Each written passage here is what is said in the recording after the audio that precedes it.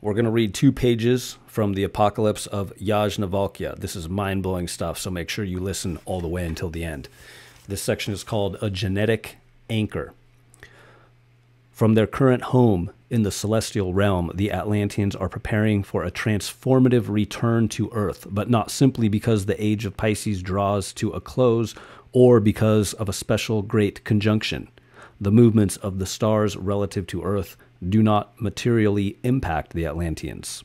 They have other existential reasons to remain connected to and concerned about the planet. As you have seen in the previous ages, the Atlanteans have a great facility for accurate prophecies and predictions, from cosmic events to how governments will react in this very moment. They have prophesied a great harvest of humanity that is nearly upon us.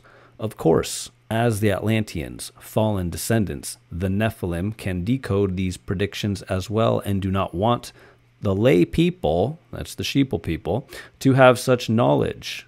Thus, knowing their ancestors' righteous plan to return to earth at the dawn of the new age, the Nephilim endeavor to make it as inhospitable a place as possible, environmentally, ethically, and genetically, in an attempt to cause the Atlanteans to forsake their ancestral home and leave it to be consumed by evil. The Nephilim cannot give up their violent ways. Today, increases in violence, exploitation, and environmental degradation represent their intentional efforts to ruin the earth for the Atlanteans' purpose.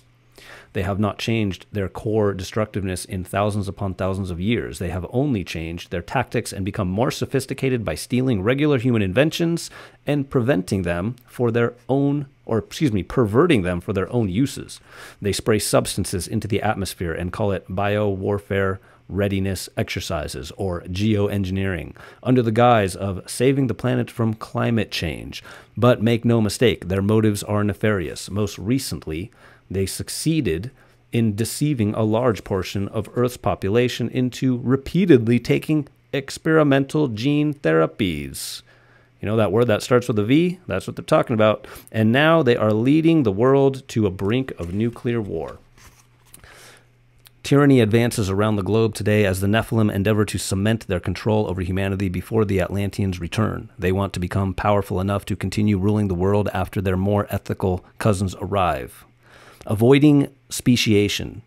Why is the earth still beloved and or excuse me, beloved by the great Atlanteans? Why is it still valued by the Atlanteans? This planet represents their genetic anchor to humanity.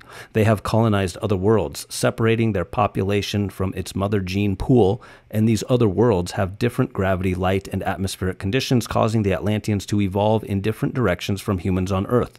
In some cases, their eyes have grown bigger, and their complexion has changed, as observed in so called alien encounters. This separate evolution can only carry on for so long, however, before Atlanteans and humans can no longer interbreed and instead become a separate species.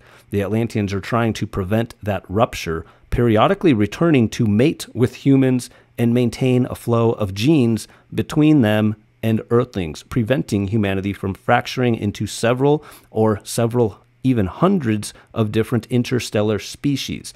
Such a rupture would have spiritual consequences as well. New Age spiritu- spiritualists say Atlantean souls have been incarnating into humans on Earth with increasing frequency over the past 50 years, a phenomenon referred to as star seeds and indigo children in the anticipation of the Great Return. If the two groups speciated, then the interbreeding could or uh, could no longer happen, preventing humans from ascending after death and reincarnating on other worlds. Native Americans, as well as the Indian yogis, talk extensively about other worlds with humans on them who were allowed to go there after conducting themselves well on your planet.